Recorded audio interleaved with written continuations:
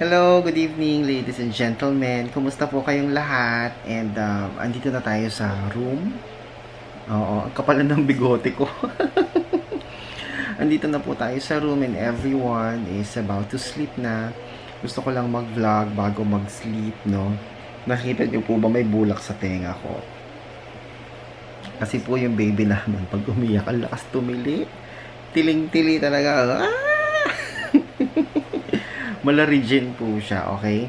Nagpapatubo ako ng bigote. Ah, bigote ba tawag dito? Or, or bird? Beard?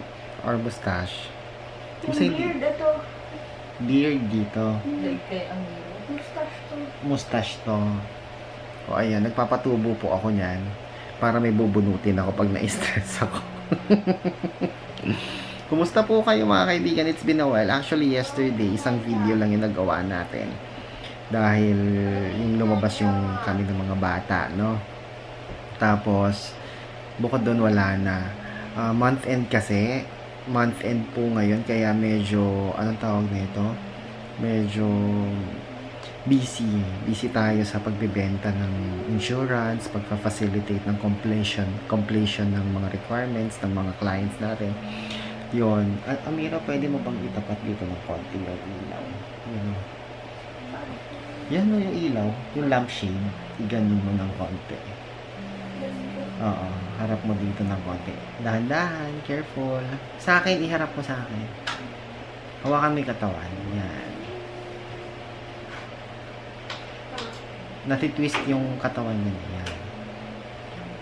Yan, harap mo kay daddy. Ayan. Ayan. O, diba? Okay na yan. Ayan. Thank you. O, diba? Lumiwanag. May pa-lampshade tayo dito, guys. Okay? So, tonight, bago ako mag-go to sleep, no, it's now 11.14 in the evening. O, 11.15 na po, mga kaibigan, no. Yun, nakita niyo yung lovely wife ko. O? Ang ganda ng wife ko. O, 11.15. Siya na yung wallpaper ko. Siya pa yung aking uh, screen saver, ba tawag to? Home screen at saka wallpaper ko. I would like to share to you tonight bago ako mag-sleep, bago ako magpahinga, mahiga. Itong shinare sa akin ng aking lovely wife. O, di ba? Ito kasing asawa ko na to, siya, siya lagi yung um, the person I trusted the most. no, pag kinokorek niya, siya lang ang pwede mag-correct sa akin. Wala nang iba. Wala nang iba. Hindi lagi niya akong kinokorek sa lahat ng bagay. Lalo na pagka mapapahamak ako, ganyan. Or hindi makakabuti para sa akin. And I really, really appreciate it. Kasi hindi lahat ng asawa or hindi lahat ng couple, 'di ba? Open sa ganon. Minsan na-offend ganyan, pero ako hindi po ako na-offend. Hindi po ako tinatablan ng ano. Pag kinorek niya ako, tinatanggap ko naman 'yon. And um, 'yon. Tapos nagbabago din ako, nag-adjust ako. Ito, I would like to share to you the, the yung shinare niya sa akin about the things na dapat tayo maging quiet, no? Ibig sabihin, let's just keep it to ourselves. Sabi naman dito kasi, um, ito daw tong mga to is the things na we need to keep quiet about with people na completely, complete stranger sa atin. Hindi natin kilala. O yung people na hindi natin pwedeng pagkatiwalaan. No? Ito, gusto ko i-share sa inyo lalo na sa mga nagba-vlog. No? Mga nagba-vlog kagaya ko po sa mga influencers, sa mga social media practitioner na ginawa po nilang um, ginawa po nilang topic or subject ang kanila or content ang kanilang buhay. Gusto ko pong i-share sa inyong lahat ito. Ano ba yung mga five things na dapat quiet lang tayo? Na dapat sa atin lang, na dapat um, i-keep natin sa ating mga sarili. Lalo na sa mga entrepreneurs. Yan. When you say entrepreneurs, ito yung mga businessman o kaya yung mga um, mga ano tawag doon? Affluent ba tawag doon, mami? Affluent, yan. Yung medyo may mataas ang ano. Or basta kahit kanino, baka pwedeng pakinabangan nyo to. Number one, na dapat you should be keep quiet about is your big plan. Uh, your big plan or your ultimate goal. 'Di ba? You should be quiet about it. Bakit? Sa, sa palagay niyo, bakit kailangan quiet ka about your big plan? para hindi gayahin. sa mga negosyante ganun, para hindi gayahin. ba? Kailangan highly confidential yung mga bagong product na ilo-launch o kaya yung technique nila o kaya yung mga best practices nila o kaya yung plano nila mag-open ng bagong branch, hindi nila ipagsasabi yun. Confidential, kumbaga closed door meeting muna yon yung mga ganong klaseng plano. Sa buhay din natin, kailangan yung mga big plans natin, sa atin sa atin lang muna. For example, nagtatrabaho ka, and you have this plan of resigning kasi uuwi ka na sa probinsya niya para doon ka na magsettle, siguro, habang hindi ka pa nakakapag-submit ng resignation mo, kailangan keep quiet ka. Alam mo, ganyan yung nangyari sa akin, di ba mami? No, hindi alam nila. Alam, actually, may nakaalam. Yung closest friend ko, kasamahan kong DJ, si Papa Ace. Alam niya na magre-resign na ako sa RGM, sa GMA, sa, sa Barangay LS. Pero walang sino man sa kanila nakaalam. Mm Tapos nag-submit ako ng resignation ko kay Sir Dennis, dun sa boss namin. Tapos minove ng minove yung effectivity date nga kasi nga medyo mahihirapan sila makahanap ng kapalit sa mga panahon na yon kasi parang busy yata nun. So, wala nakaalam ng big plan ko. Wala talaga nakaalam. Nalaman na lang nila no nung effect parang days na lang parang kunyari ngayon ay Monday next week wala na ako parang ganon yun, ay hindi, Friday or Thursday or Friday, nalaman nila. Tapos Monday, wala na ako, hindi na ako papasok. So, number one, uh, number one thing na you should be keep quiet about is your big plan. Okay? Number two, your love life. Dapat pala, yung love life mo, confidential lang. Hindi dahil may tinatago ka, kundi to protect also yung yung ka-partner, yung iyong jowa, 'di ba? Yan yung mga bagay na wala namang kinalaman sa negosyo, wala namang kinalaman sa trabaho, 'di ba? Kailangan i ano mo lang 'yan, i, hindi ka naman showbiz, 'di ba? Huwag mo nang ipangalandakan. I-keep quiet ka na lang sa iyong love life, kung may away kayo, kung may gulo kayo, or kung meron kayong misunderstanding, keep quiet lang kayo 'di ba? Kasi talaga makakaapekto 'yon eh. Makakaapekto po 'yon sa pagtingin sa iyo ng ibang tao, makakaapekto din 'yon sa doon sa ka-partner mo kasi syempre hindi naman nila kilala yung partner mo, 'di ba? Kaya baka ma-judge siya or ikaw din ang ma-judge, 'di ba? Kaya keep quiet lang. Number three, you should keep quiet, you should be ano ba 'yon? you should be keep quiet. you should keep quiet about your income. Tama ba? Ayan, your income. Kailangan yung income nyo, secret lang. ba?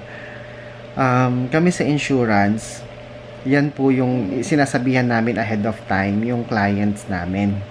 Na, ma, meron po kami mga information na kakailanganin, kakailanganin from you and you might find it too personal. Yan sinasabi namin, namin sa client namin yun. And huwag po kayo mag-alala kasi we will treat this with utmost confidentiality. O, ba diba? Kasi isa yun sa mga tinatanong namin ng income. Maraming tao ayaw magsabi ng income number one dahil nahihiya sila. Maliit. ba? Maliit sa tingin nila. Number two, ayaw nila magsabi ng income nila dahil baka singilin sila ng pinagkakautangan nila. Number three, ayaw nila magsabi ng income nila kasi uh, baka utangan sila. ba? Ayaw nila magsabi ng income nila kasi baka meron silang ibang plano. 'Di ba? So 'yun. At saka yung income mo, sa'yo lang 'yon. Huwag mo nang ipagsabi sa iba. Unless showbiz personality ka na parang mala Chris Akin o ganyan or kumbaga public figure ka, 'di ba? Pero kung ano, wag mo na sabihin yung income mo, confidential na. And I, and I think naman talaga kahit sino, kinikip nila sa sarili nila yung income nila. Tapos number four, you should uh, be keep quiet about is your next move. And parang may kinalaman to sa number one, sa big plan. No? Itong next move. Ano yung susunod mong gagawin? Ano yung strategy mo? Ano yung taktika mo? Kailangan hindi mo hindi mo to sasabihin kahit kanino, o di ba? Next move mo lilipat ka na pala ng ng stasyon, lilipat ka na pala ng bahay, lilipat ka na pala ng ng trabaho, o kaya magbubukas ka ng ganito, magbubukas ka ng ganyan, kailangan keep quiet ka muna doon, 'di ba?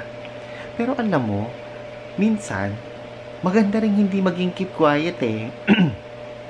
Bakit? Sa mga taong dapat lang na hindi, ano, na dapat pipiliin mo yung taong sasabihan mo. Kasi, pwede kang makakuha ng advice sa kanila. 'Di ba? Halimbawa, ililipatan mo pala na kumpanya eh, ano, hindi pala maganda. O, 'di ba?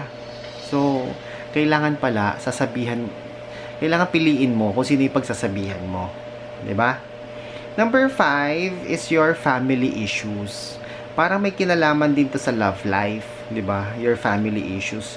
Kung nag ah, kung meron kayong away ng biyenan mo, manugang mo, o kaya ng hipag mo, dapat hindi mo na yan dinadala sa trabaho. Dapat hindi mo na yan dinadala sa labas.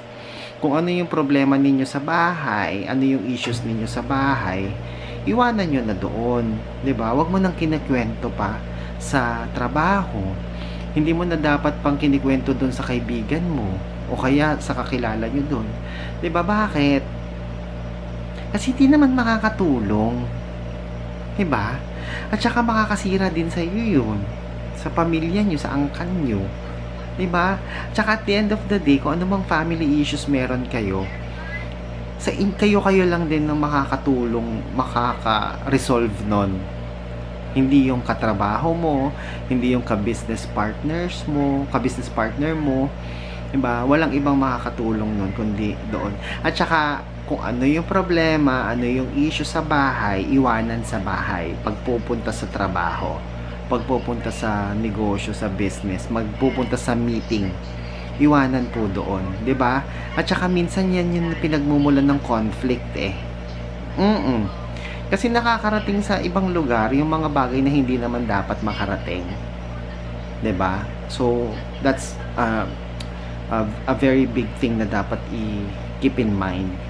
Family issues, love life, wag dapat sasabihin sa iba. Okay? keep it um, personal. Tapos, yung big plan mo, yung next move mo, dapat ikikip mo yun sa sarili mo. At wag mo nang ikwento sa iba. Okay? Ano pa ba? So, yun. Yun lang yung share ko sa inyo. And I think tama din naman. Okay? Kung meron kang pagsisharean, meron kang pagsasabihan, make sure na itong taong to, yung taong pinagkakatiwalaan mo ng husto. Yung taong um, talagang makakagaanan mo ng loob. And make sure, eto pa, make sure na kapag ka may pagsasabihan ka ng mga personal thing, your biggest plan, your next move, your love life stories, or your family issues, pag meron kang pagsasabihan, pagkikwentuhan, and nag-leak ito, wag na wag mong i-blame sa iba. No? Wag na wag kang maninisi ng iba.